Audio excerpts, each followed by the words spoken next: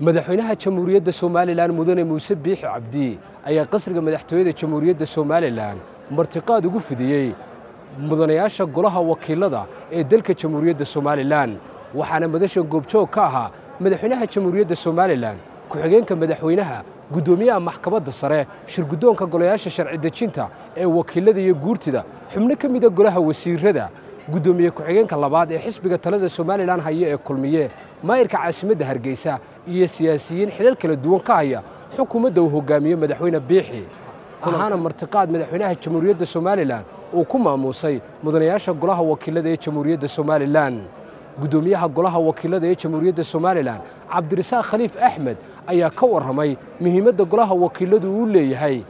Qaranka jamhuuriyadda somalilan iyo wada shaqaynta ka dhaxaysa golayaasha saddexdaa ee dalka jamhuuriyadda somalilan uu leeyahay. Maanta ilaahay kadibna waxaynu ugu mahadnaqaynaa madaxweynaha jamhuuriyadda somalilan inuu maanta halkan hadhiime sharfeed ugu sameeyey golaha wakiilada oo isu dhan waa habdhaqan soo jireen ah in golayaasha la doortay madaxweynuhu uu ku casuumo halkan waynu uga mahadnaqaynaa madaxweynaha.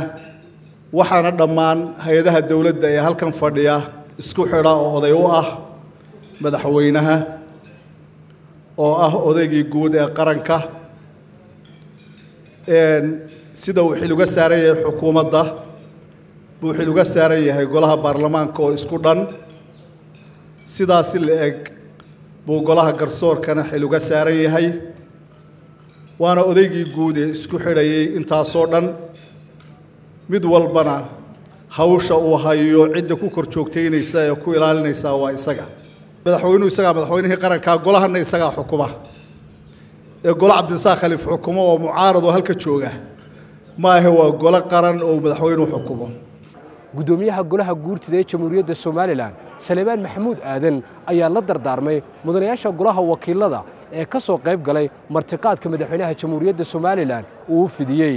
Rag bisil baa rag bisil baa halkaa iga muuq madaxweynaha idin casmayna ilaahay isagaa ka jasahaysiin idinkana dee hawshiinna cid idiin tilmaami maysee hawshiinna idin qabsan xilkiinna idin gudan doontaan. Ammaanna ma lihdin halkaase waa wixii qaranku idin doortay ee dadkiinnu halka idinku soo dirtay. Dibuun ha u eeginayaan baqe waa nimankii maxaad kula noqon doontaa ku soo doortay ha dhowto. Waxaa muhiima heer qaran baa maanta u gudubteen oo qura qarankii oo dhan baa idin eegaya giddigeenna ina wada eegaya. Madaxweyne iyo madaxda kale ee fadhida iyo marti sharafta halka isugu timiba aad iyo aad baydu ugu mahadnaqaynaa madaxweynaha maanta isu keen keenay inaynu madaxweynaha iyo dowladdiisa la shaqayno weeye. Horta waajibka koowaad innagoo khusuusan golayaasheennu madaxweynaha xilkana waa la ilaashanayna isagana hadduunu xadgudbana insha allah xadgudi maaye waar soo joogso waa odhanaynaa guddoomiyaha maxkamadda sare ee jamhuuriyadda somalilan garyaqaan aadan xaaji cali axmed ayaa halkaa ka jeediya hadalla ku tacalluqa wada shaqaynta ka dhaxaysa saddexda golo iyo sida ay muhiim u tahay in golayaashaasi ay ilaaliyaan qawaaniinta iyo dastuurka dalkan jamhuuriyadda somalilan u yaalla aad baan ugu faraxsanahay waana runtii arrin aan runtii madaxweynaha uga mahadnaqayno isu soo dumidda ama isugu yeedhidda golayaasha qaranka waa arrin qiimo badan. Hay'ad wal oo dastuuriya waajib ku ah in shaqadeedana ay gudato. Shaqada hay'adda kale ee dastuuriga ay leedahay in ku ixtiraamto isla markaana xadkeeda ay ku ekaato. Waa waxa keliya ee dowladnimada ay ku imanayso kow in shaqo fiican la qabto. Oo haddii xilliyadii kambaynka ama kambaynka fan lacagtiisii cidi gaari kaa bixisay ama qaangaara ama lagula ololeeyey maanta inaad dadkaagii codka ku siiyey u shaqayso waa lagama maarmaan. Laakiin dadkii ku taageeray hostage ha u haani maanta adigaa madaxa adigaa wuxuu sheegaya marna cod baad doonaysay marna waxbaad hogaaminaysaa madaxweynaha waan uga mahadnaqaynaa runtii kulanka weyn ee qaranu maanta isugu yeedhay si wanaagsan u wada shaqayno is ixtiraamno weeyaan. Madaxweynahana waan uga mahadnaqaynaa somalilan hogaamintaas iyo wadajirka iyo sharafta iyo karaamadaasi ku soo caanamaashay. Madaxweynaha jamhuuriyadda somalilan mudane muuse biixi cabdi ayaa u mahad celiyey mudanayaasha golaha wakiilada ee martiqaadkan ka soo qayb galay. Waxaan aad iyo aada ugu mahadnaqayaa xildhibaanada iyo shirguddoonada labada gole ee aanu ku marti qaadnay qadadan ee naga ajiibay ee ka soo qayb galay aada iyo aad baanu ugu mahadnaqanaa waananu soo dhoweynaynaa maanta maalin ka horeysa inaynu qabanno ahayd qadadan golaha wakiilada aynu ku marti qaadayno iyo martida kaleba. Laakiin si la sheegay howlaha waa iska badan yihiin.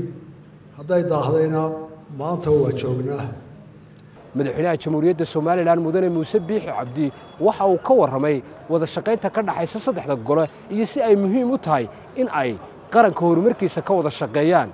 Golayaasha qaranka ugu sarreeya xeerdejinta oo laba aqala oo labada shir guddooma joogaan maxkamaddii oo jooga guddoomiyii maxkamadda sare iyo fulintii oo badankoodii jooga haddii ilaahay idmo inaynu noqonno xukuumad iyo dowlad danta qaranka ka shaqeeya dooda. Markay doodana halka codka u bato isku raaca qaabka ay u shaqeynayaana uu yahay mid ixtiraam ku dhisan. Hadduu qof qof la hadlaayo ooy doodayaan adoo doodaya ha ku xadgudbin qofka kale.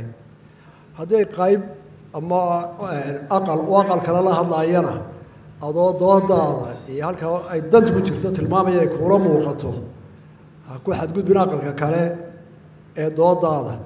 Si miyir qabta oo sharci ah oo ixtiraam leh u soo jeedi. Haddii taasi broseskaasi naga qaldamo oo dadku aanay si ixtiraam leh iyo aqaladooda shaqaynaya aanay u shaqaynin dee shaydaan baa ka dhex duulaya ilaa dad si xun wada hadlay heshiin maayee madaxweyne biixi waxaa kale uu la dardaarmay mudanayaasha golaha wakiilada ee madasha fadhiyey golaha wakiilada cusub ixtiraam baanu u haynaa ku xadgudbi mayno. Waa la shaqaynaynaa. Isku mid baynu nahay. Siyaasaddaasinu ku shaqaynaa haddii la idhaahdo ridwaan caydiid ismaaciil akiid warbaahinta qaranka jamhuuriyadda somalilan xarunta qasriga madaxtooyada